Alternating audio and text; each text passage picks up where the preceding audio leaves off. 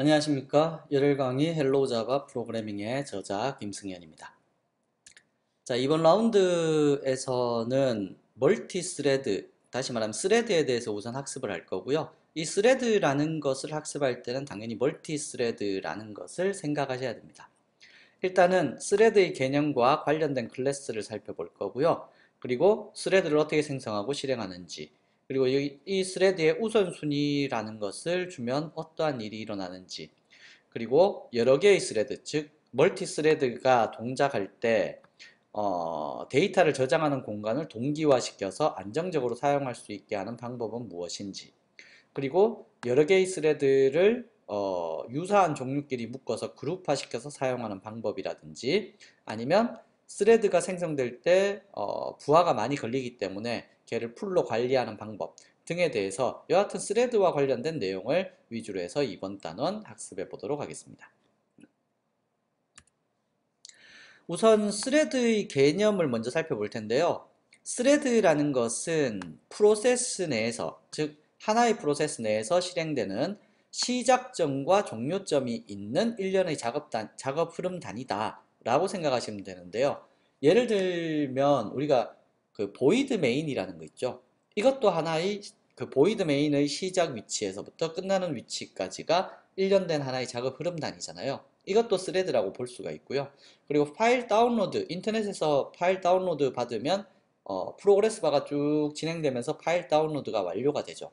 이 파일 다운로드 하나가 thread라고 보시면 됩니다. 그러면 multi thread라는 것은 뭐냐?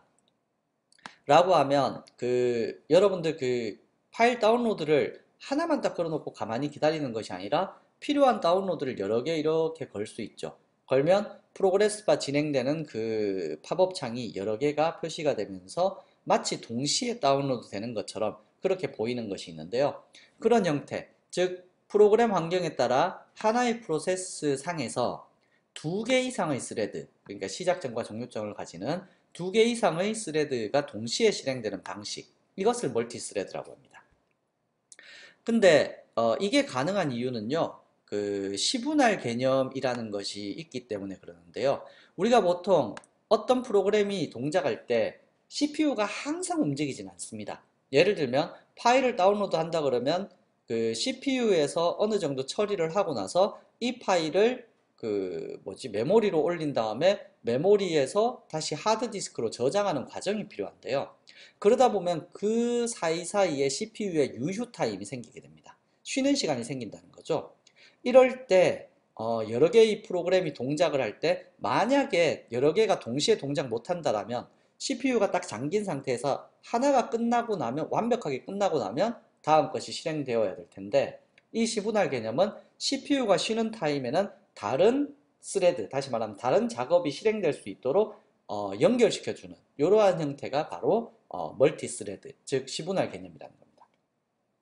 그래서 이 시분할 개념이 도입된 도입된 거에 대해서는 우리 교재에서 그 참고로 설명을 해두었으니 한번 살펴보시기 바라고요.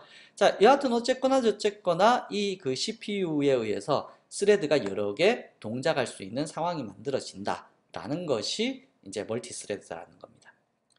자, 그래서 이러한 thread를 작성을 할 때는 우리 Java에서는 Thread라는 클래스나 아니면 Runnable이라는 인터페이스를 구현함으로써 어, thread 클래스를 만들 수 있는데요. 이 thread의 실제 실행 내용은 run이라는 그러니까 main method에 해당하는 thread에서 main method는 run이라는 method입니다. run method를 어, 재정의함으로써 thread를 작성할 수 있는데요. 얘를 그냥 그 객체를 만들어서 run 실행시킨다고 thread가 실행되는 게 아니라 start라는 이러한 method를 호출하면 자동적으로 thread가 실행되는데 이 부분을 한번 보셔야 될 겁니다. 이건 예제로 해서 한번 보여드릴 겁니다. 자, 그래서 이러한 thread에서는 그 여기 그림에 설명드렸다시피 하나의 프로세스 내에서 여러 개의 thread를 만들 수 있다. 이게 multi thread 프로그램이다 라는 거고요. 뭐 물론 프로세스도 여러 개가 있을 수 있습니다. 그래서 프로세스 1, 2, 3, 4등 어, 프로세스가 여러 개 하나의 CPU에 프로세스가 여러 개 있을 수 있고 이 프로세스 내에서 여러 개의 thread, 작업들이 만들어질 수 있다. 그래서 multi thread는 하나의 프로세스 내부에서 여러 개의 thread가 그 동작하는 방식이 바로 어, multi thread다 라는 겁니다. 관련되어 있는 클래스는 방금 전에 말씀드렸던 어, Thread라는 클래스 그리고 Runnable이라는 인터페이스 이러한 것들이 있고요. 이걸 구현한 하위 클래스들도 몇몇 가지 존재하니까 이 라운드를 통해서 한번 함께 살펴보도록 하겠습니다. 다음으로 넘어가죠.